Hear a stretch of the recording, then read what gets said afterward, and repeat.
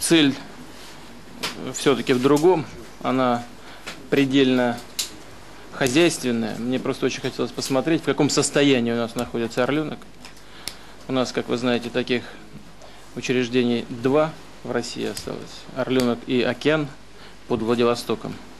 Я согласен э, с коллегами, которые считают, что рассматривать эти два учреждения нужно, конечно, обязательно вместе, в комплексе. Здесь у вас есть, как мне сказали, площадь слез, да? Дети плачут, когда уезжают. Мне захотелось заплакать, когда приехал. Потому что э, ну, человек ко всему привыкает. Я думаю, что и вы привыкли к тем условиям, в которых работаете, живете. За последние полтора-два года кое-что э, сделано было. Но 1986 года практически все было брошено. Это, конечно, печальный факт. И, ну, кое-что есть, где можно и, и жить, и нормально спортом заниматься, и учиться. Но в целом, куда не посмотришь, даже не знаю, можно ли реконструировать. Ну, вот здесь подсказывают, что можно – специалисты, конечно, должны сказать, можно ли реконструировать и сколько это будет стоить. В любом случае, мы вот говорили с министром, говорили с директором, а, в любом случае это нужно будет делать по единому плану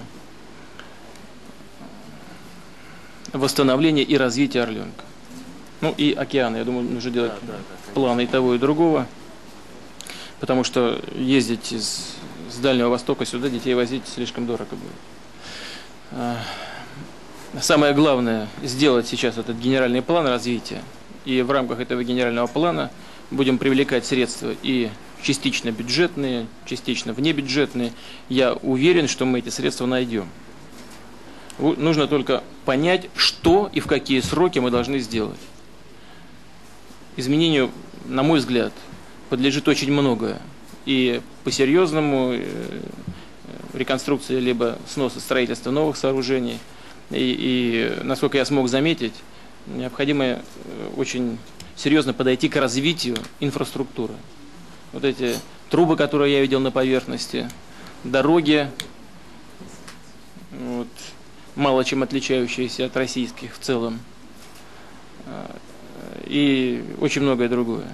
Ну, во всяком случае, э, мне кажется, что у руководства министерства и э, самого Орленка такое желание есть. Да, значит, э, готовьте, я тогда прошу министерство подготовить соответствующие предложения. Думаю, что не так дорого будет стоить э, довести до конца подготовку генерального плана развития Орленка. Если у вас с этим проблемы, вы скажите, точно поможем, сделаем это. Э, и наметим конкретные сроки и объемы работ.